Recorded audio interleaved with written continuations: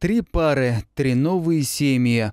Рука об руку, плечом к плечу направились в первую очередь в центральную мечеть, чтобы с благословения имама, следуя пути славного пророка, мир ему, ступить на новый ответственный путь в своей жизни. Пусть забота и взаимопонимание, нежность витает в вашем браке. Имам в своей молитве попросил Господа даровать молодым парам благополучие и счастье и вручил им свидетельство о браке.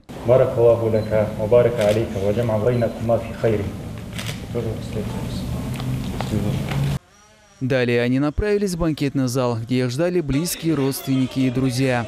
Бурные аплодисменты и свадебные нашиды сопровождали молодых внутри зала. Им преподнесли не мед и халву, как полагается по обычаю, а самую лучшую воду на земле – замзам. Душа оживляешь ты, если восхвалят тебя, я Хабиб. Столы накрыли разнообразной едой, известные исполнители нашидов порадовали гостей авторскими произведениями. Ведущий мероприятия произнес слова приветствия и предоставил гостям возможность поздравить молодых. В первую очередь дали слово родителям и опекунам новобрачных. Алhamdulillah, что у нас есть муфтият, такой муфти, до которого до всего, до больницы, до аптек, до поликлиник, до духовного центра, до жизни молодых тоже.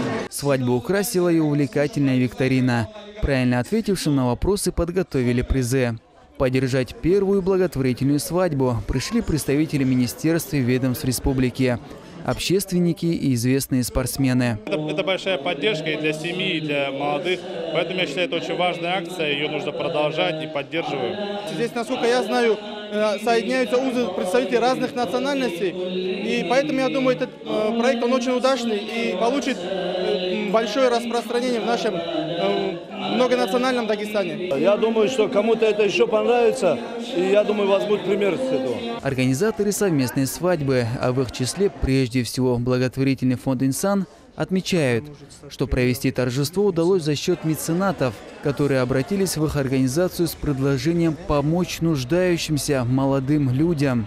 И в свою очередь э, организацией такого мероприятия с, участ- с участием нескольких э, пар молодоженов, она может стать примером и для других меценатов, которые у себя на местах и в селах, и в других городах, они могут брать под, э, под опеку малоимущих, нуждающихся таких же пар, которые не имеют возможности, чтобы организовать эти мероприятия и проводить такие мероприятия.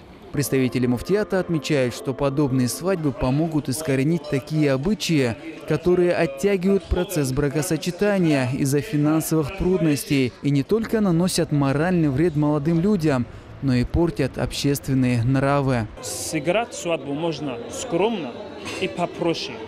Не нужно э, из-за отсутствия чего-либо затягивать и ждать, э, задержать свадьбу. Можно это делать попроще, по рекомендации пророка, саллиллаху алейхи вассалям, и мы надеемся, что нас поддержат и примут насихат пророка, саллиллаху алейхи вассалям, для нашей умы. Три молодые пары. Первые, кто проявив смелость, согласились принять участие в совместной свадьбе. Молодожены не скрывают не только своей радости, но и смущения. Хотели, чтобы была баракатная свадьба, маулид. После банкетного зала молодые пары направились в духовный центр имени пророка Исы, мир ему. Здесь их встретили медом и халвой. Когда э, ваш муж рядом, э, не берите в руки телефон. А, и Инстаграм, WhatsApp, э, Telegram, и все это для вас муж.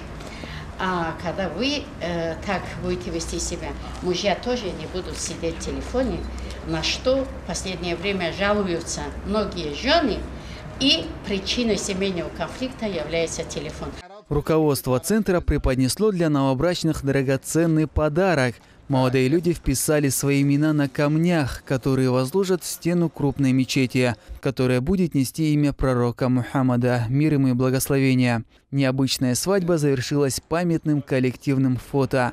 Главный посыл уникального проекта прост – Скромная свадьба – это возможно. И подобные свадьбы с фондом «Инсан» будут организовываться и в дальнейшем.